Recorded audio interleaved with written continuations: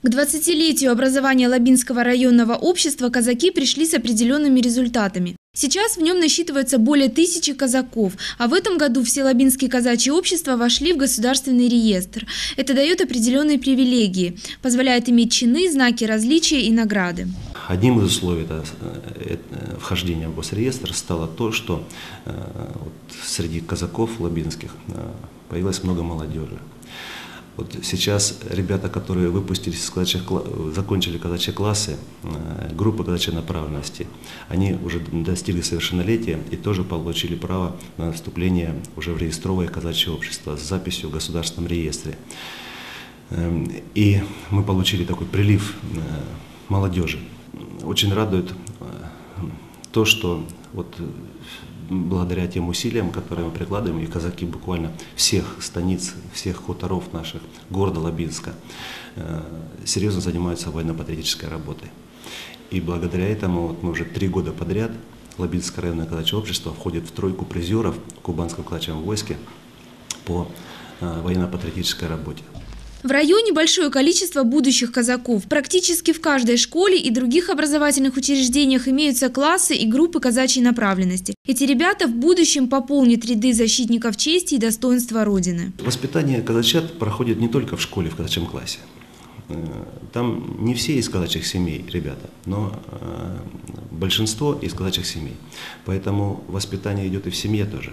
Воспитание идет э, и при общении с казаками-наставниками, то есть с казаками, которые приходят в школу и занимаются с ними вопросами истории, там, знания оружия, приглашают на, на спортивные секции. Вот у нас в этом году уже создана секция спортивного рукопашного боя, э, русского рукопашного боя, где будут подаваться также элементы обращения с холодным оружием, фланкировки, это упражнения с шашкой, с кинжалом, с казачьим, с плеткой. Вот. Это тоже изучение традиций, тоже воспитание. Уже больше года совместно с полицейскими охраной общественного порядка в районе занимается казачья дружина. В дальнейшем ее ряды будут пополняться. Сегодня есть уже распоряжение об увеличении числа, количества э, членов казачьей дружины.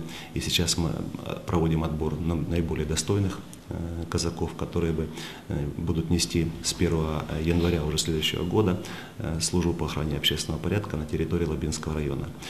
Мало того, что вот наши результаты работы дружины послужили основанием тому, чтобы нам оказали доверие участвовать на охране общественного порядка э, на Олимпиаде. В крае каждую третью субботу октября отмечается День кубанского казачества. В этом году празднование состоятся в станице Отважной. В субботу 19 числа в 10 часов утра состоятся мероприятия, казачий парад, торжественное собрание, концерт с традиционными, безусловно, куренями, э, с выставками, с участием коллективов творческих казачьей направленности. И туда едет большая делегация Лабинского района, поэтому Приглашаем всех жителей нашего района тоже принять участие в этих мероприятиях. Отпраздновав эти мероприятия, мы хотим провести в городе Лабинске, Лабинском районе, тоже ряд спортивных, культурных, общественных, э, публицистических э, и торжественных мероприятий, посвященных 20-летию образования Лабинского районного казачьего общества, которое было образовано